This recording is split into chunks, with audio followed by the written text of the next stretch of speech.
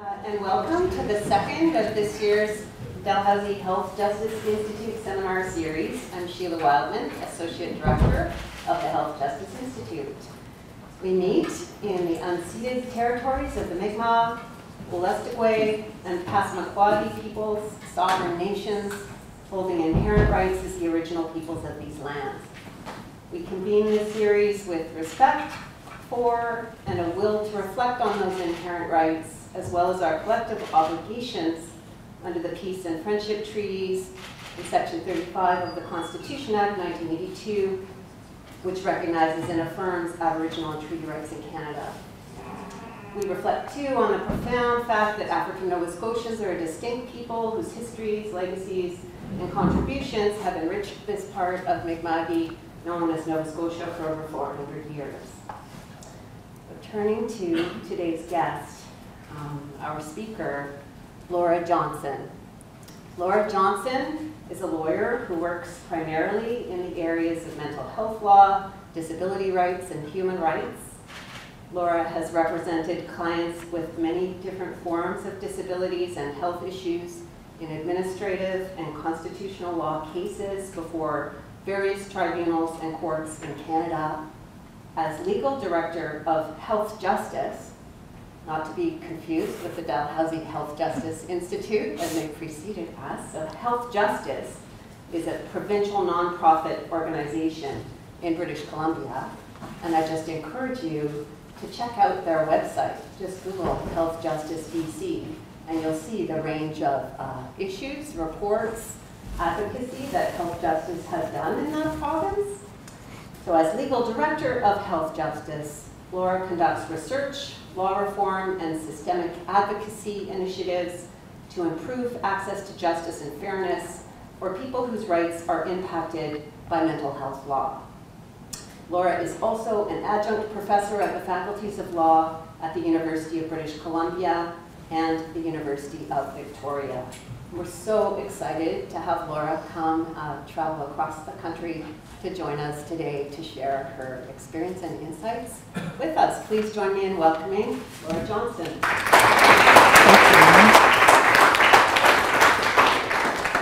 Great. Thanks. Hello, everyone. And thank you uh, especially to the Dalhousie Health Justice Institute for having me out uh, here today. It's been a great opportunity to meet and connect further with folks here.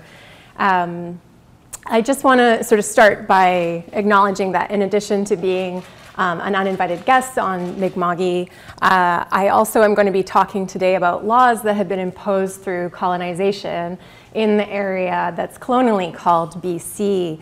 And in BC, there are over 200 distinct First Nations. There are 39 chartered Métis communities.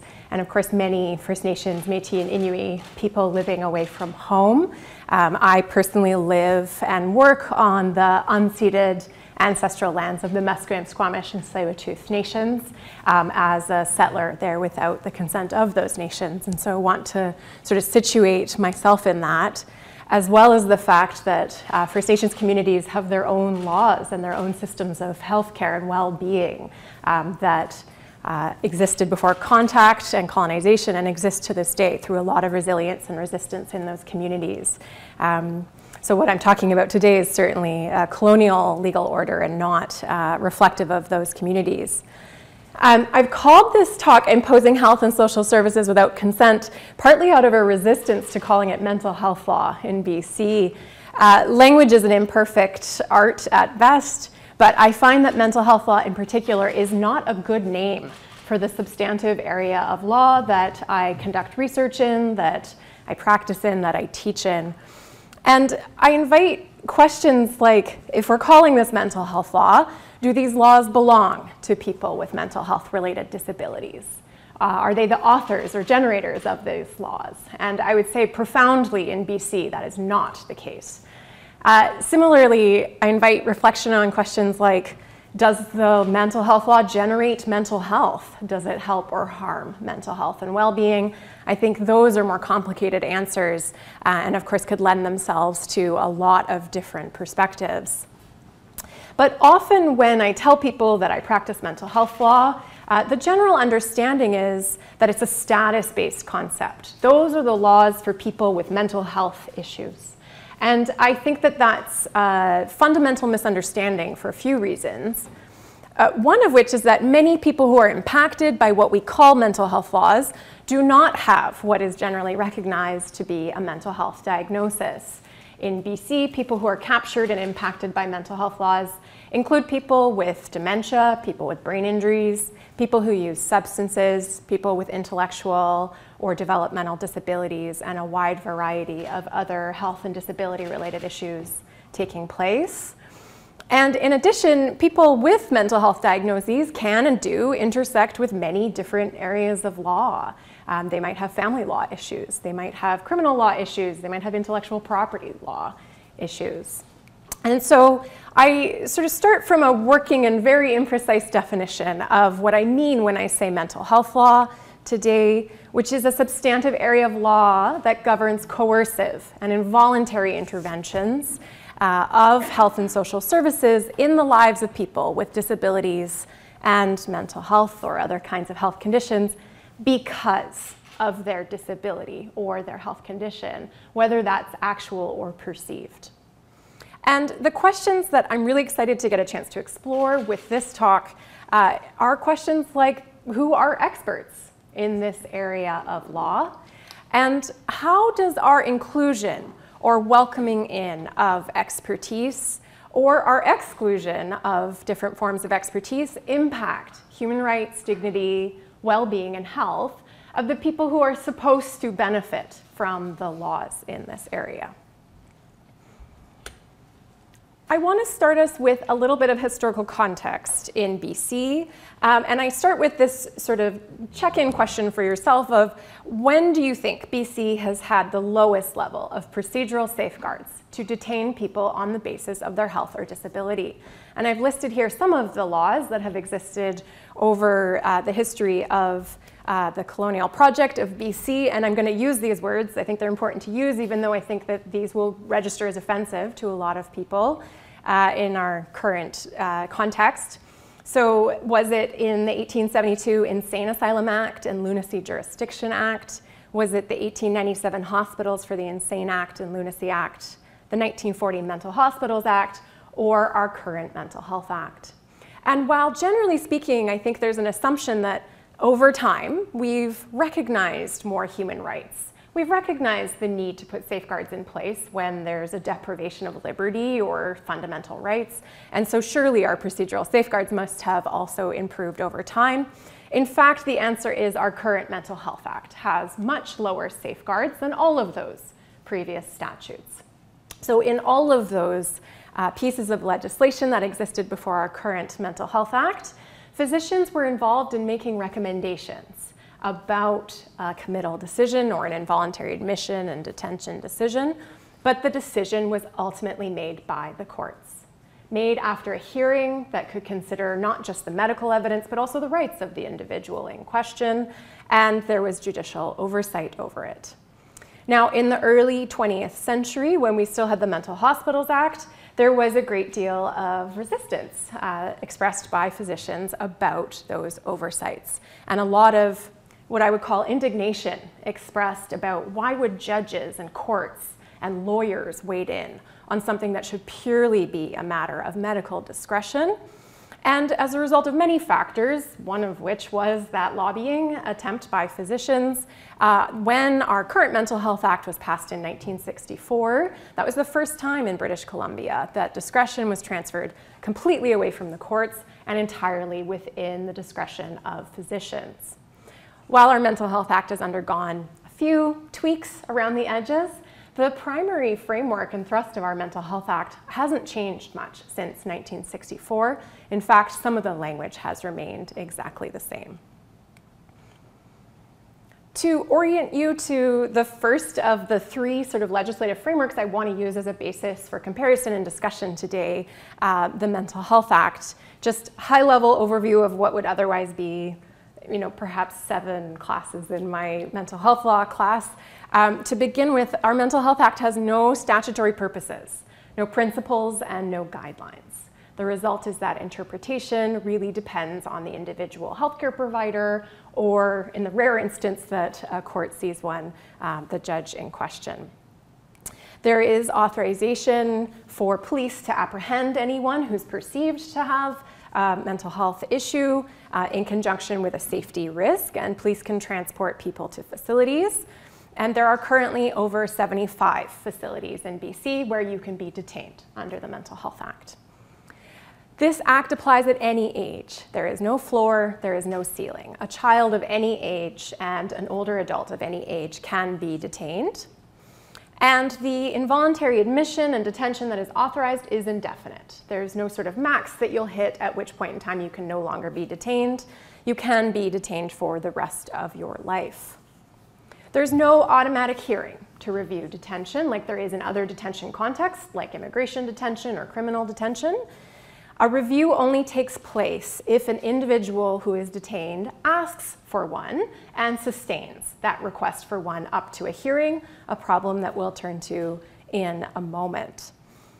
Physicians have complete authority to release an individual from a facility on extended leave. And this is essentially our version of community treatment orders. The provision in our act allows physicians to impose conditions of leave.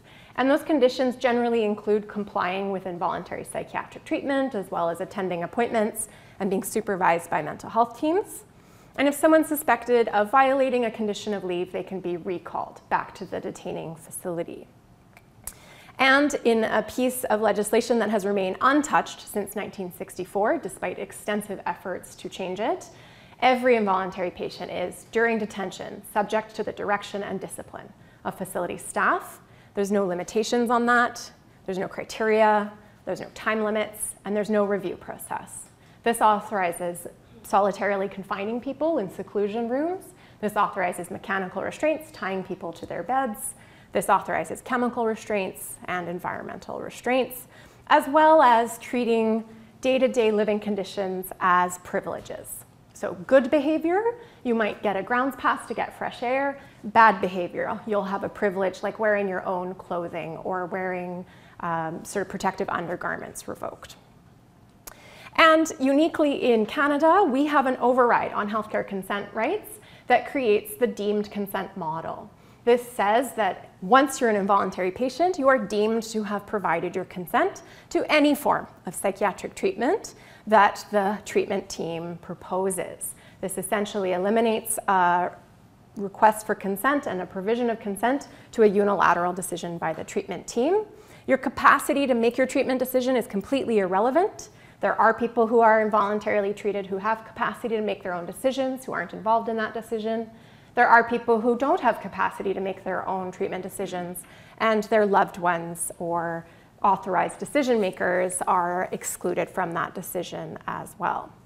This deemed consent model has been the subject of a charter challenge in BC courts um, since 2016. Unfortunately, our BC government has been trying to get the case thrown out without a hearing uh, since that time by challenging public interest standing, which is sent it on a circuitous route up to the Supreme Court of Canada and back again. So our laws are still intact. And I want to address uh, sort of the myth of deinstitutionalization. I think that there's generally an understanding that in Canada, perhaps in the 90s or the early 2000s, we closed large-scale institutions and uh, placed people in community. I think BC has an incredibly unearned reputation for deinstitutionalization in particular. And what I want to show here is some very partial and inaccurate data, but the best data that we have. So in BC, our government doesn't track all of the detentions happening under the Mental Health Act. They only track the detentions happening in two classes of facilities, Schedule B and C facilities. They completely omit tracking detentions in Schedule A. They also don't track any detentions that take place in an emergency department in a facility that results in the release directly from emergency without further transfer. So what we have here is very inaccurate, underrepresentative data. The data is actually much larger.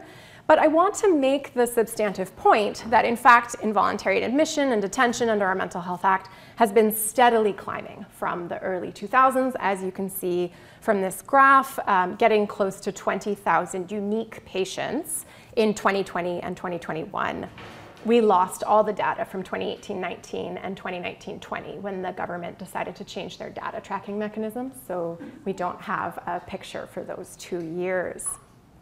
Just to put this in context, some of you might have heard of Riverview being one of our sort of larger scale institutions that was closed in 2012 in BC. And often people start bandying about sort of big claims like we closed the doors of Riverview and everyone ended up out on the streets and we need to reopen institutions again in BC. That missing the fact that every resident at Riverview was transferred to another facility. No one was discharged to the street. And in fact, when Riverview was engaging in closure planning in 2000, there were less than 700 patients at Riverview, and we're up around 20,000 now. And then this data shows the number of detentions, not the number of people. And so you can see here a similar climb in our use of involuntary treatment up to approximately 30,000 unique detentions for 20,000 people in the most recent year that we have data for. And I, I, was sort of trying to look around at some of the detention numbers in Nova Scotia as a point of comparison. Of course, our population is larger, but from my very crude understanding, I think our population in British Columbia is five times as large as Nova Scotia's. So if you're looking for a quick comparison of how often your province might be using these mechanisms, um, if you divided 30,000 by five and you're still doing it more or less, I think that can be sort of an informative point. So a lot of experts call what we did in BC trans institutionalization rather than deinstitutionalization, which could maybe be something that our politicians could uh, take a little fact check on before they start speaking publicly. And then just to do a quick access to justice check. So we can see that these are some of the most significant deprivations of charter rights that we authorize in Canadian law. Um, sort of unreviewed, unchecked discretion to solitarily confine people, no healthcare consent rights. Those are conditions that um, not even other detained populations experience. So how are we doing in the Oversight and Checks and Balances Department? Well, until this year, BC was one of the only provinces in Canada that had no independent rights information service for patients. So here in Nova Scotia, you have the Patients' Rights advocacy service or advisory service, I believe, advice service, PRAS.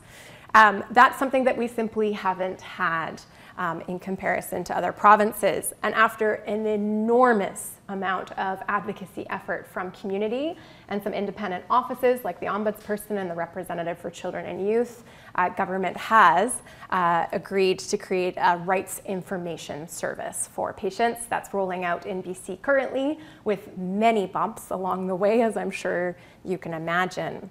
And those uh, rights information providers will come in and sit with involuntary patients uh, virtually largely because it's a virtually based service and tell them that they have rights. Uh, a very important uh, step in someone learning about and exercising their rights.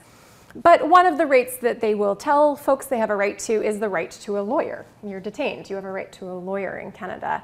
And unfortunately, there is no government funded program or service that has been created to provide legal advice to people who want to exercise their right to counsel when they're detained under the Mental Health Act. And there are some court applications that Mental Health Act detainees can make. Of course, they're entitled to habeas corpus as a detainee. They also have a statutory mechanism in our Act.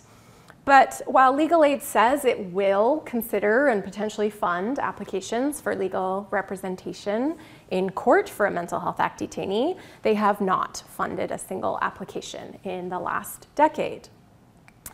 We do have a tribunal that a detainee can request access to, uh, but since the onus is purely on the detainee to make the request and sustain that request up to their hearing, approximately two thirds of detainees who ask for a hearing withdraw their request to a hearing before the hearing takes place.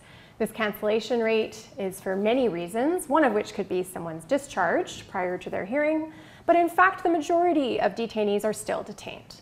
When they withdraw their request for a hearing. And this can largely be attributed to pressure that is put on them by healthcare providers in detaining facilities where they're told things like, you're wasting everyone's time, don't you know how much this costs people to do, uh, you're going to lose anyways. Uh, inducements and threats are also pretty common. If you cancel your hearing, I'll put you on leave. If you don't cancel your hearing, I'll withdraw your privilege, like a smoke break on the grounds, for example. As a result, fewer than three of our documented detentions reach any form of independent hearing from a tribunal or court, and we know that the true picture of detention is much larger than what we have. Unfortunately, as well, for someone who strives for access to justice improvements uh, for this population, uh, it gives me sort of no joy to report that the access to detention review has gone down as the detained population has gone up in recent years. So this is a metric we're actually losing ground on. I want to switch gears now to talk about a second statutory regime in British Columbia uh, the, under the Adult Guardianship Act. And this causes no end of confusion for generations of law students when I have to explain that adult guardianship isn't governed by the Adult Guardianship Act in BC. In fact, that's our Patients Property Act that governs adult guardianship. And the Adult Guardianship Act governs responses to abuse, neglect, and self neglect concerns for adults who are unable to seek support and assistance because of a disability or health condition. And so this framework essentially designates or picks agencies that are responsible for investigating and responding to an adult when there's a concern of abuse, neglect, or self neglect.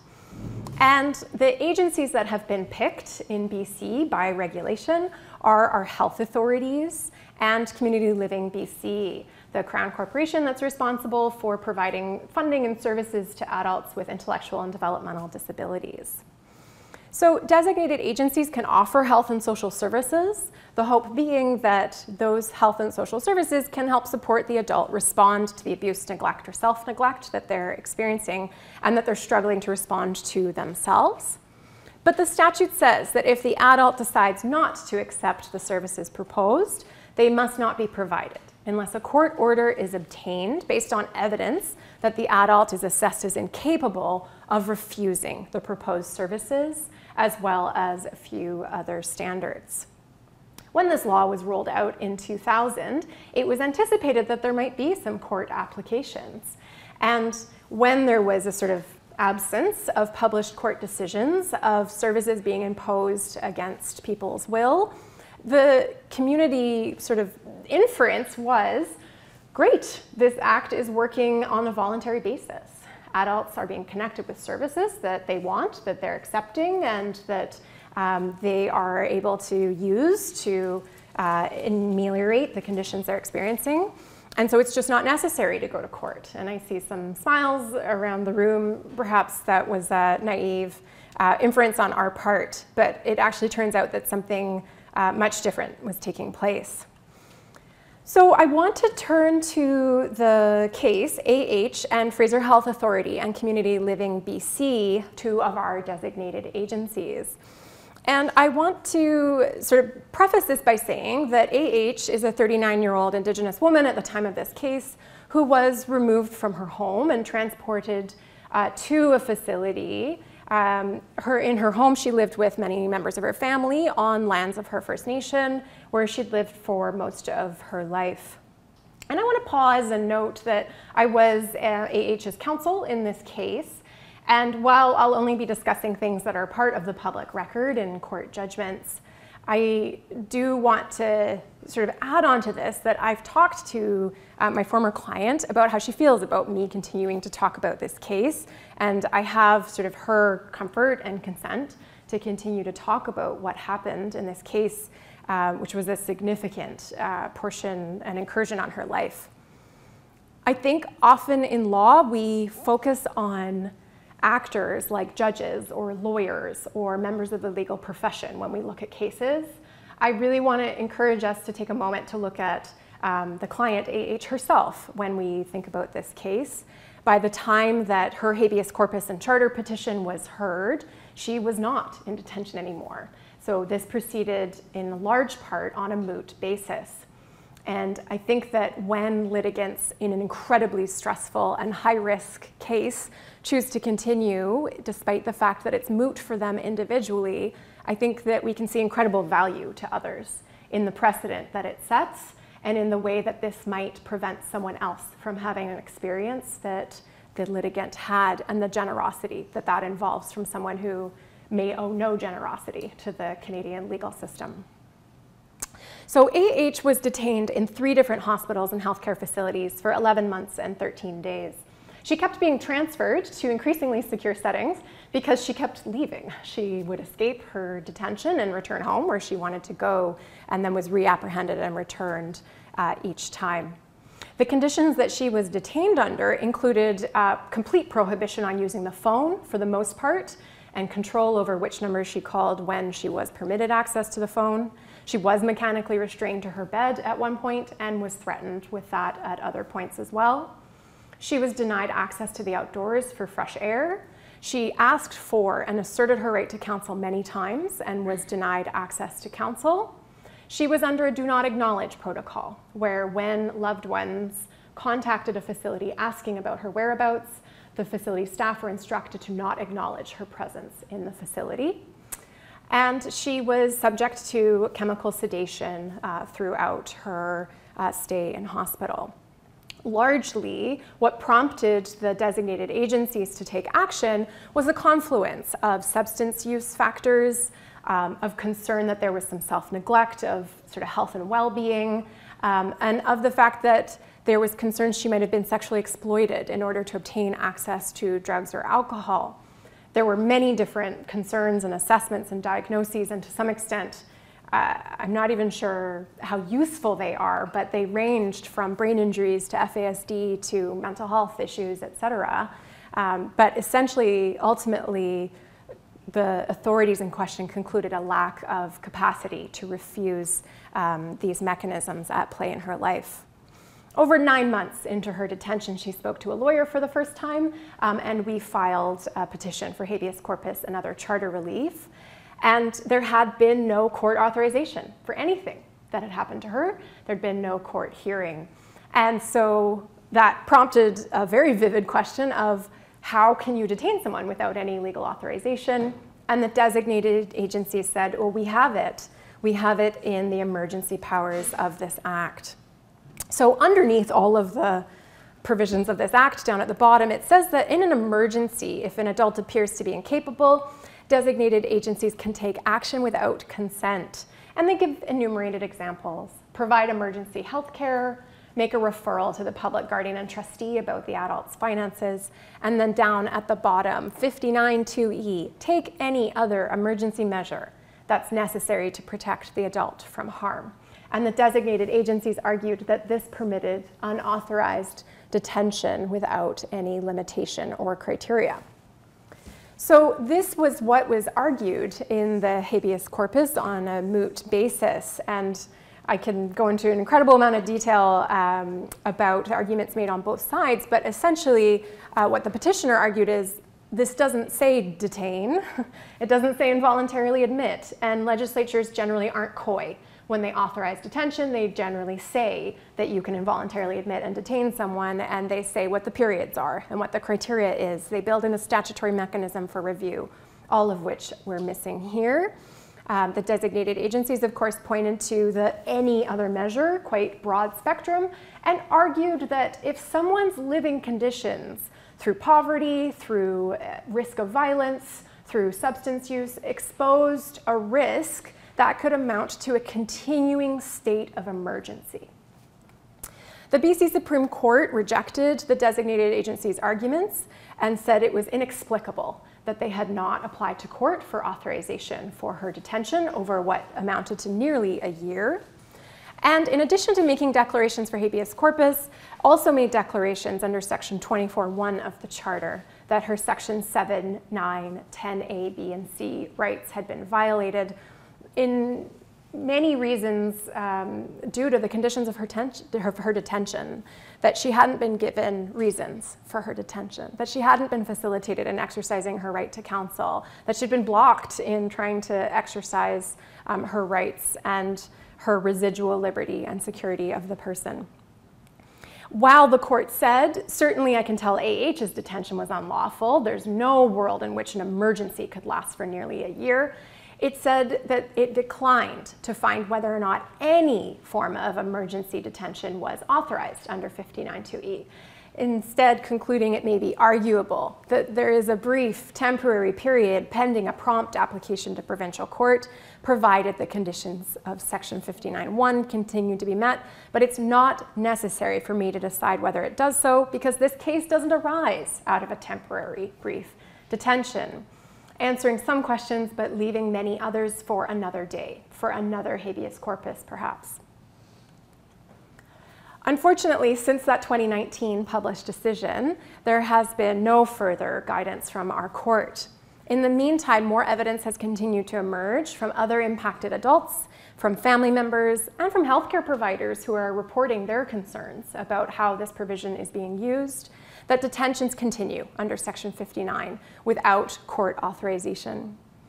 Despite being informed about this case specifically and other cases more broadly, the BC government has taken no public action to address, to provide guidance on whether or not detention is permitted under these circumstances, to make any redress for unlawful detention, to make remedies for human rights violations that might have been occurring since 2000, or to prevent any future human rights violations. In November of last year, our BC Human Rights Commissioner announced it was launching an inquiry into 59 and the detentions under that act. Uh, we look forward to the results of that inquiry coming out potentially before the end of the year. And then the third legislative structure I just want to introduce us briefly to is under our Healthcare Consent and Care Facility Admission Act. As a basic overview, this essentially governs how healthcare providers and care facility managers can obtain consent from adults for proposed healthcare or for proposed care facility admission.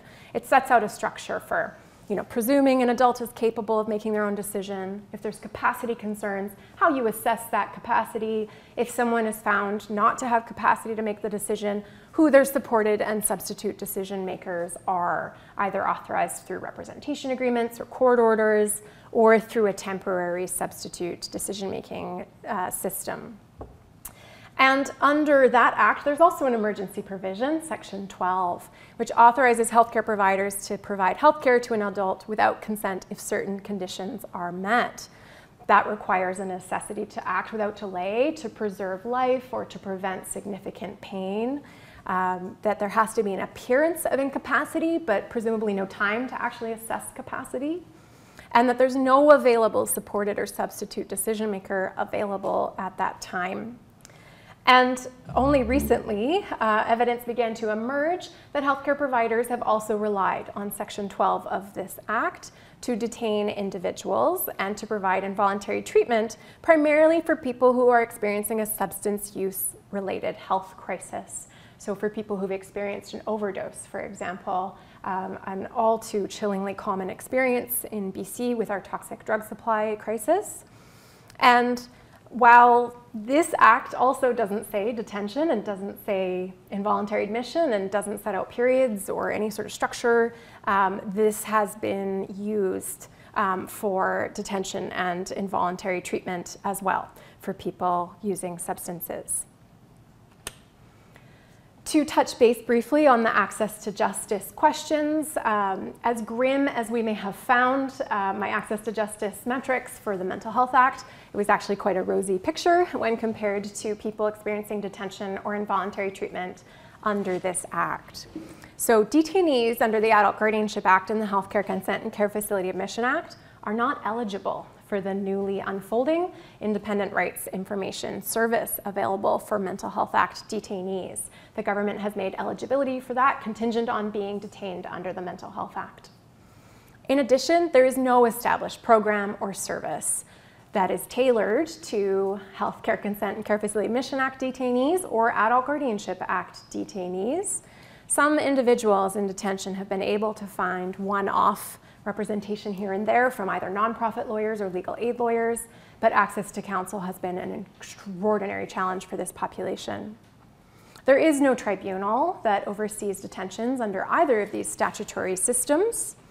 And there has been no published habeas corpus decision since the 2019 AH decision, after which we hoped there would be more clarity um, coming from our courts. That's, of course, not to say that that hasn't been tried, um, and perhaps the situation was resolved uh, prior to coming to hearing, or it didn't result in a published judgment, but nothing published that could support a precedent or guidance in this area.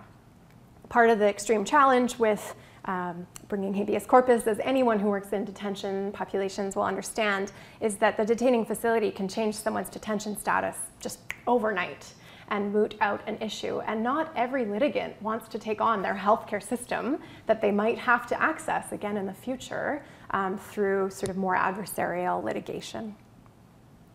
So with that, I have created a little chart here um, that puts some of the indicia of rights protections for detained populations that we might expect from international human rights law, from charter law.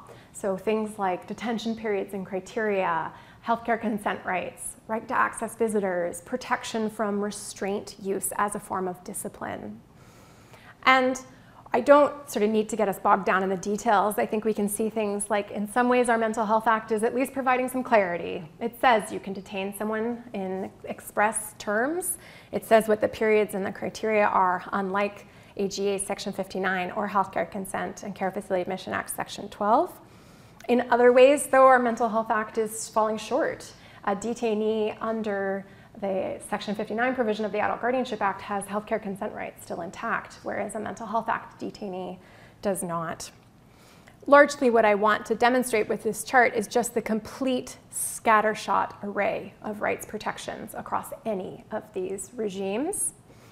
And I think while we would like to present these as discrete, siloed systems that work differently. These are detention formats that are impacting the same adults, either simultaneously or sequentially or being combined to result in prolonged detention. We've seen many examples of an adult, for example, being discharged under the Mental Health Act only to not be discharged because now they're under the emergency Section 59 provision of the Adult Guardianship Act. And so these are not quite as discrete as we might think on the face of these statutes. The other thing I want us to draw from this is while they might look different on the surface, I actually think there's a common denominator here across all three legislative schemes. And I think that is that it centers the expertise of the healthcare system and of the healthcare providers who work in it as the people who should be making the decisions for people experiencing some of these health or disability related crises. I think we can also see that there are two particularly strong exclusions of forms of expertise here, one being law and legal service providers. Certainly these systems are not doing anything um, to protect access to fair procedure, access to a legal advocate or a lawyer to work alongside you to make sure you understand and can exercise your rights. I think as well, these systems are excluding the expertise of the individuals most directly impacted. Detention by its nature is exclusionary of an individual's lived experience, expertise.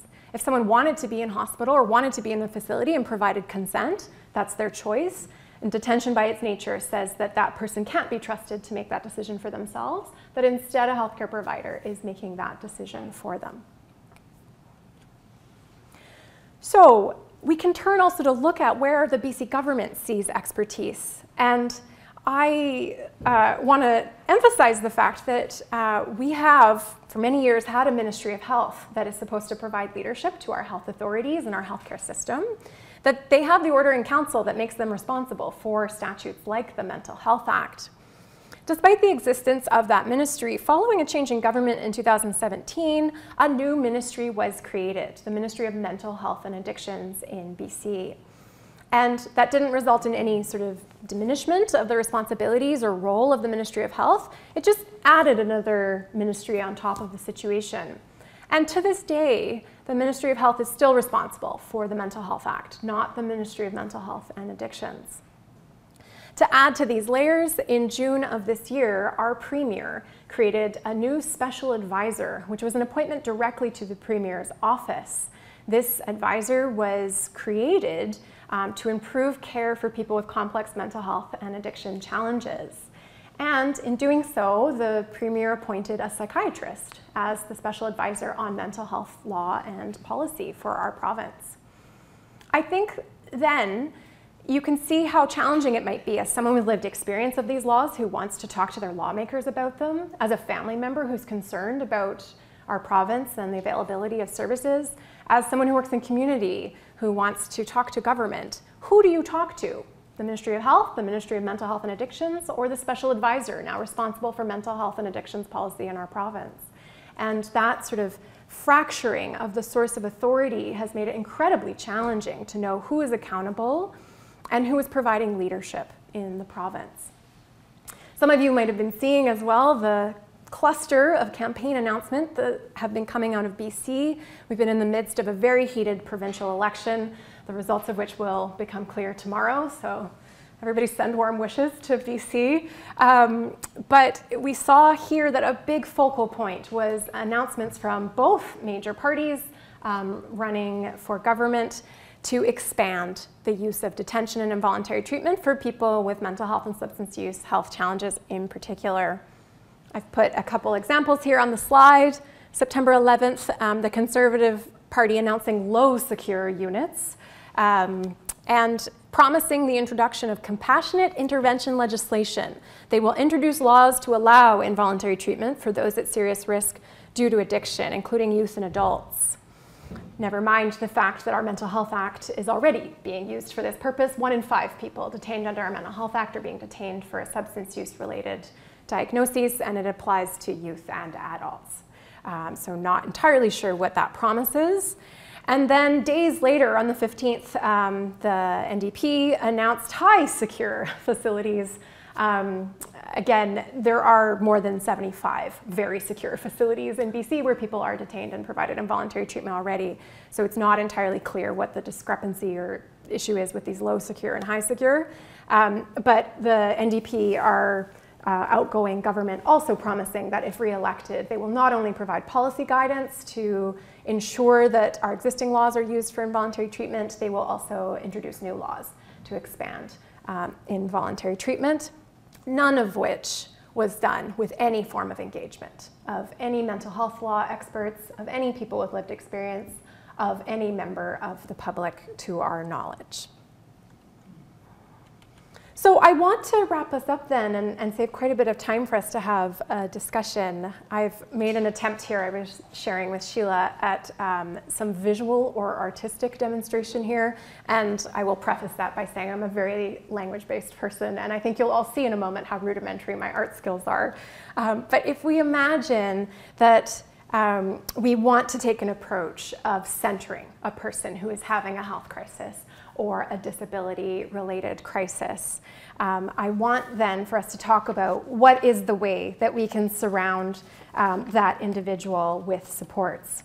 And I think that in many ways, BC is a case study for what happens when one form of expertise is completely centered for an individual with a mental health or substance use or disability related uh, crisis.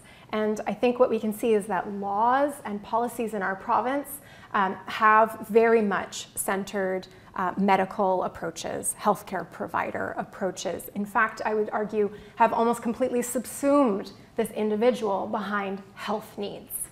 And I think to some extent, you know, very well-meaning anti-stigma campaigns that have really drilled home the message of mental health as a health problem and the primacy of the need for health and social services, perhaps even as an alternative to other forms of the state, um, have contributed to a situation where largely people are seen as having a health need and therefore need healthcare providers. And when I suggest to people that someone having a mental health crisis has legal needs and might need a legal service provider, generally speaking, people look at me as though I said that my car was having engine trouble and I'm taking it to a chiropractor. It's just not seen as a particularly relevant form of expertise for someone in that crisis. And I think that when we exclude law, when we exclude fair process and judicial interpretation, when we exclude a legal advocate who can walk alongside someone and help them advocate for their rights, we are also implicitly saying that that person is not a rights bearer, that they don't have access to legal rights that they could exercise in that moment. And I think that that's a particularly chilling um, point that we've arrived at um, in an exceptional way, I think, in BC and to some extent elsewhere.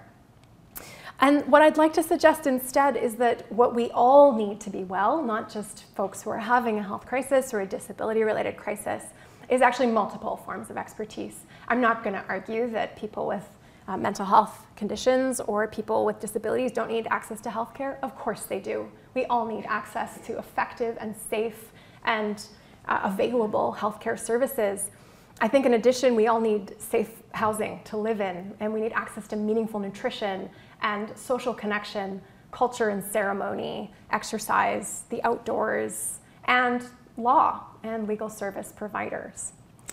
And while I think that we could sort of delve into the many different forms of expertise that might support someone to live their best life and most sort of well and meaningful and fulfilling life, there's two that I want to wrap us up on in particular that I see as acutely missing in the BC context.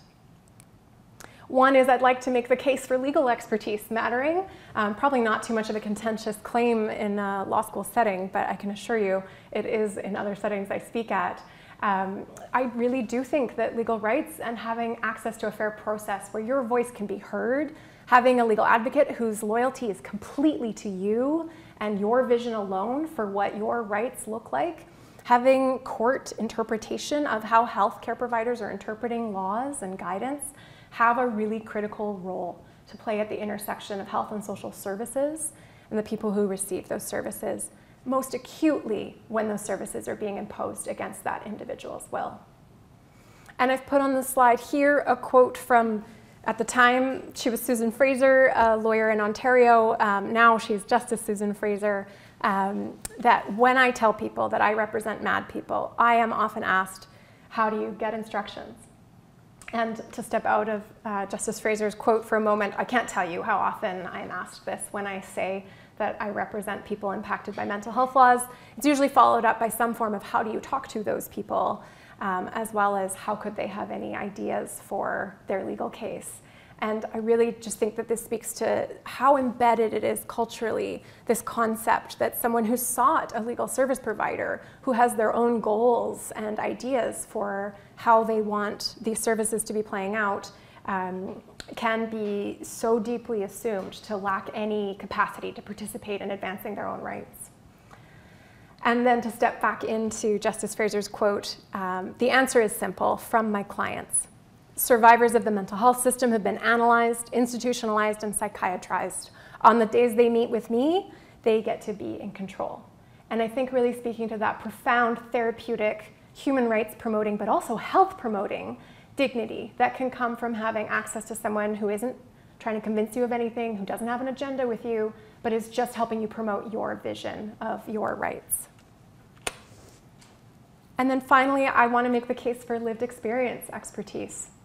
I think profoundly that people are experts on their own lives, that we all have insights and perspectives onto the values, onto the needs that we have, um, onto what kind of help that we need. And here I've put a quote from Colin Gabelmann, who was the Attorney General in 1995, who was talking about actually the Adult Guardianship Act law reform process, which was deeply informed by the people who would be most directly impacted. And there he said the legislation was important, but hearing the voices of those most affected by the legislation as it is implemented is even more important. It is no longer acceptable for professionals or government to tell people what is good for them. I wanted to end us here because I think that this really counters the presumption that, oh, you know, with time, we're gradually becoming more progressive, and we are certainly listening more carefully to the voices of people who have lived experience. Uh, I think in BC we've experienced a deep backslide that in the mid 90s our government was saying this isn't okay anymore. Government and professionals can't tell people what's good for them. And when you fast forward to 30 years later, we've seen nothing but examples of that from our law and from our policy in BC. I think it sort of speaks to the importance of us demanding from our lawmakers, from our policymakers, that they do listen and center the voices of people with lived experience. I, I think it also really underscores how hard we have to fight for that, how hard we have to advocate for that, and, and how we can model that as well, how we can look around the rooms that we're in, in law schools, in med schools, in academic settings, in community settings, in legal aid settings, and ask how are there ways that we can better center the voices of people with lived experience in the work that we're doing as well. So I think with that, I've reached my time, and I'd like to end us there and open us up for questions if that's okay. Okay, so the, the question is essentially why is BC so bad? Um, what is going on contextually that has allowed this to flourish? And I gotta tell you, I've been asked this question so many times and I don't have a satisfactory answer for it. I think that something that's been missing is a systemic advocacy voice. Um, my organization the nonprofit Health Justice was founded in 2020, in part in recognition of this sort of vacuum of there being a voice of systemic advocacy on mental health that was rights based, that was based around people with lived experience. Um, our organization has uh, brought together uh, lived experience experts and legal experts and human rights experts to try to create this advocacy voice. But you know, four years isn't very long in the arc of time.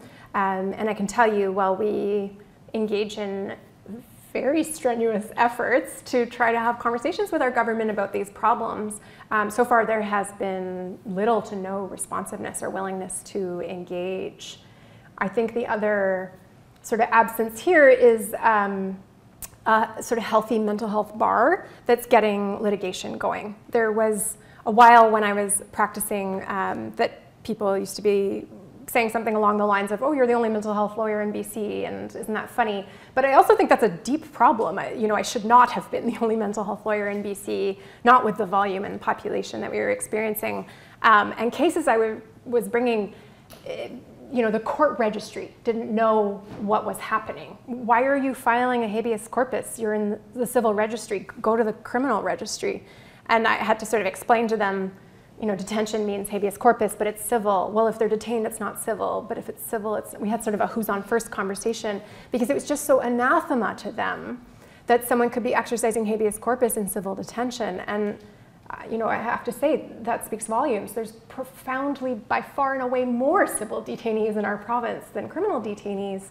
Um, and our, there's no sort of templates, there's no precedents, there's no uh, sort of movement from the legal sphere either. Of course, there's been like individual cases and attempts here and there, little spurts of energy, but I think two things that have really been lacking is systemic advocacy grounded in lived experience and any sort of litigation efforts in a sustained way. Yeah. Yeah, yeah, just some really effective input from someone who practices as a social worker in BC. I think pointing to a really big flaw in our law, which is that a lot of statutes will have a provision that says that um, you can't make access to a service contingent on having involuntary status under this law. I can't quite remember from my cross Canada research if um, IPTA in Nova Scotia has that provision, but many statutes do, and I think it sounds like a throwaway. Like, well, of course we wouldn't require someone to be involuntary, but in BC, we have completely tied access to services to being involuntary. And while we saw those involuntary numbers climbing, I didn't map this onto the chart for sort of brevity's sake, but the voluntary numbers were going down at the same time. And so you can see this is not just a funding thing. It costs the same amount to have someone in an acute care bed voluntarily and involuntarily. This is a cultural approach that our healthcare systems are taking of, you know, if you're unwell enough, if you're unhealthy or bad enough, to need admission to hospital, then you have to be an involuntary patient. It's kind of an unwillingness to work with people where they're at or in an involuntary way. And so I think as the cultural attitude increases of you can't get on a mental health team roster, you can't get admission to a mental health unit, you can't get access to diversionary programs unless you're involuntary, so too does the sort of feed and the proliferation of the involuntary mechanisms of the law. Yeah. Thank you. Okay. Yeah, so great question about some of the sort of financial ties or connections to keeping someone involuntary. And, and then I think also a second part to the question, which is how do we get access to the supports that someone might need that they might not only they might not get unless they're in a facility like setting. Um, yes, I think there are some disturbing financial connections to detention decisions. A key one in BC, for example, being that we have a fee guide for physicians who get paid for making an involuntary admission decision and completing the certificates. Um, it's not to say they don't get paid other ways for providing other services, but I think worth a question. You know, I, physicians, I know because I, I train them often, think of themselves largely as service providers. They think of themselves as clinicians. They don't think of themselves as statutory decision makers acting on behalf of the Canadian state in an administrative system, though they are. Um, and I think having a financial tie to any decision regarding someone's rights is deeply dangerous. Um, though I don't think it's the only thing accounting for the rise in detention numbers.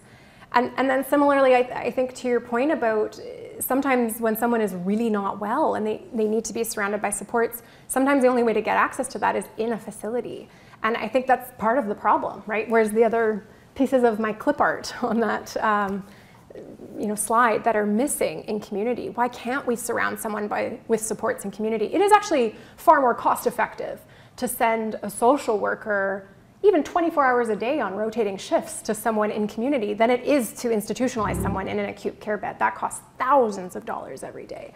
And so it's not just a resource question, it's an imagination question.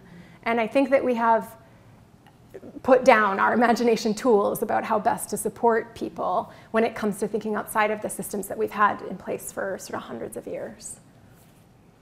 Yeah, yeah, it's a great question about sort of the block in the flow of information to someone when they've been detained about their rights, and it's it's so critical. Um, the ombudsperson's report that I referenced the data from did a bit of an audit that checked are the healthcare providers completing the five basic certificates that are legally required to complete when you detain someone. And these do very rudimentary things. They give someone the reasons for their detention. Why are you here? They let them pick a loved one to inform this is happening to them and tell that loved one. And they tell them about their rights. And those forms were completed 28% of the time for the detentions that were audited, which means it's actually the vast majority of detainees who are experiencing charter rights violations and human rights violations. It, it reminds me of um, there was a, a, quote by the human rights lawyer Lex Gill on the CBC Ideas podcast recently uh, from a lecture in the Crow Theatre um, where she said, The injustice is so big it's invisible. And, and I think that that's really vivid here. Like it's, it's rare that you'll find a system that is operating minority compliance. And despite years of concerted effort to increase those compliance ratings, at the last investigative check-in, they were up to 40% or something. Like it's still the vast majority of detainees are not being informed of their rights. And it's a charter obligation on any detaining authority that when you detain someone, you notify them they have rights. And so that part of our system is broken. And then on top of that, the rest of Canada has figured out what has taken us a long time in BC to figure out, which is because there's problems in ensuring that detaining facility staff members inform someone of their rights, you have to send someone independent in. You have to have someone independent available. And because we've been missing so many pieces in that chain, it's um, a very upstream problem when the downstream effect might be zero court cases, and that's certainly what we're seeing. But as you've sort of vividly demonstrated, it's it, how is a lawyer supposed to get connected with a detainee? How are they supposed to know there's a rights violation? How is that detainee supposed to know that they have rights when so many steps along the way have been skipped? Yeah, it's a comment or question about the relationship between the voluntary and the involuntary admissions and how one drives the other, perhaps. And yeah, it's interesting. I'm going to have to borrow from the expertise of um, folks with lived experience who will say quite plainly that the, if you know you need to be in hospital, if you know you're not well and you're not safe on your own right now, the best thing to do is go tell a healthcare provider, I don't need to be in hospital, I'm fine. Because you can sort of trick the system into thinking you're severely ill enough that you're lacking insight into the fact that you do need to be in hospital, and so then you'll be involuntarily admitted, right? yeah, yeah, no, no, this isn't sort of legal expertise. This is lived experience expertise of folks going to emergency and saying, I'm not okay. I need, I need help right now. I need to be here, and then being turned away. Because if you go voluntarily and say, I would like this help, there's sort of this perception of, well, we know better than you, and so you must be wrong that you need to be here. And if you're voluntarily asking for help, that means you have insight into the fact that you need the help. So then you're not severely ill enough, so we're going to reject you. But if you say you don't need to be here, again, I know better than you about what you need, and so you do need to be here. And so I, I know folks who lie to their healthcare providers to induce them to use the paternalistic option of involuntary admission and detention uh, just to get access to the help they need. I mean, that is, that is like blood curdlingly absurd you know, that we're at a point in time in our system where people know they have to lie to their care providers who they probably need to be completely honest with to get effective help from just to get access to what they need. So, I mean, there, there are bed shortages for sure. We have not exhausted the provision of voluntary care in BC by any stretch of the imagination. And I sort of feel like asking people who are asking for expansion of involuntary care, you know, how about we try expanding voluntary care first um, and see if that doesn't work, and then let's you know, unpin this pin in your idea. But I do think it's more than just funding and more than just the availability of beds. I do think it's a cultural attitude of people don't know what's best for them. Health does know what's best for them, and it's really hard to get access to the help that people know that they need sometimes. Yeah, yeah, yeah. So I think uh, a comment about really emphasizing that rights deprivation on the grounds of disabilities is a human rights protected characteristic that we should be acting with outrage about undeniably, um, and what sort of litigation has been um, contemplated to try to sort of enforce those human rights. I mean, the, the short of it is, I, I, can name a few cases that have tried and failed. Um, in particular, perhaps I could talk about our Human Rights Tribunal, where I wrote a paper um, recently that summarized that um, there have been several human rights complaints filed by people who've been detained under the Mental Health Act, every single one of which was dismissed without a hearing at a preliminary application that uh, allows our tribunal to throw cases out without a hearing if there's no chance of success. And largely the tribunal members making those decisions have drawn conclusions like, well, I, I know you were denied a visit with your daughter because of your daughter's age, family status. I know you were denied access to the grounds, even though you're an Indigenous person and nature-based healing might be important for you, or I know you were denied access to smoking breaks. You know, all of these are very integrated intersectional human rights concerns. And the conclusion that was drawn was, but this just seems like the conditions that all Mental Health Act patients experience, not just you, you weren't being singled out. And of course, that's, that's sort of like 101 human rights, I think, that we learn in law school that you know, direct discrimination is only one form of discrimination, and a, a, blanket policy that applies to everybody can, of course, have adverse impacts on some communities more than others. And we seem to have lost that thought process when it comes to, well, they were being taken care of in the hospital, and so those are the conditions that have to be in place in the hospital. I'm not going to question the healthcare providers. Again, I see a lot of deference to the health system there, but no successful human rights complaints yet. Yeah, do you want to come to BC and try some maybe? Show us how it's done. it would be much appreciated. Um, yeah, yeah. Yeah, so I'll contextualize that by saying that in our provincial election, uh, our Conservative and NDP party are polling neck and neck, like completely equivalent. And so I think we're seeing positions out of some parties that we may not have at other points in time in history. Um, I think a lot of the political will is coming from fear mongering, from uh, highly publicized incidents of violence, where people are either assuming inaccurately or accurately that someone has a health or disability related issue that's causing the violence. And I think we still really haven't separated out this idea of mentally unwell people are more likely to be dangerous or violent even though statistics show us again and again that is absolutely not true. People with mental health concerns are more likely to be victims of violence than perpetrators. But there have been a few highly publicized sort of public attacks um, where politicians, I think, are playing political football by stoking public fear and then saying, I have the solution. we're also just years and years and years into a public health emergency of overdose deaths. And that has not, there's, there's no one in BC who hasn't been impacted by that. And that's particularly acute for Indigenous communities or racialized communities, uh, particularly acute for young people. And so that's been devastating. And the solutions to that are something that have been hotly contested from sort of more harm reduction approaches to more law and order approaches. And I think that what we've seen in recent months is a real scaling back of harm reduction approaches and a real ratcheting up of detention approaches.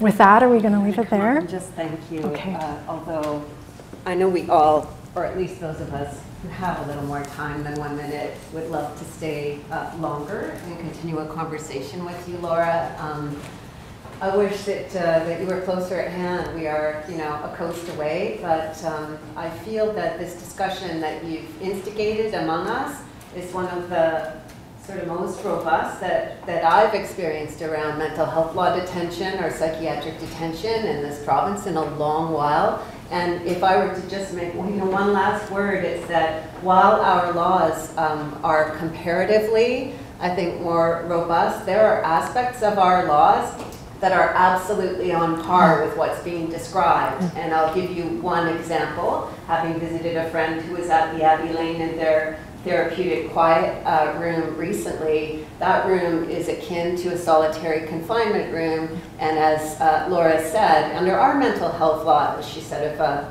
BC's law, there's no time cap, there's no mandatory oversight. There's no process of review. There's no process whereby a person is advised of their right to counsel. And myself, as a person coming as a friend with an appointment with that person, was told, sorry, we have a policy that says you're not allowed to even speak through the door and say you're here. And I could hear the person calling out from that room.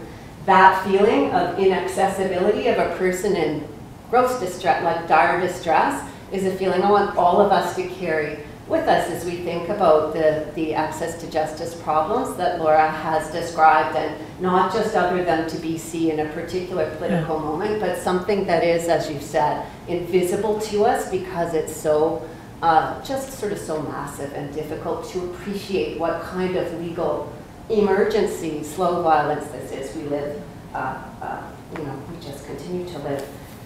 That, you know, um, is, I guess, kind of depressing last word, uh, but also just profound gratitude is the last thing that I want to say um, to Laura. Please join me again in thanking Laura.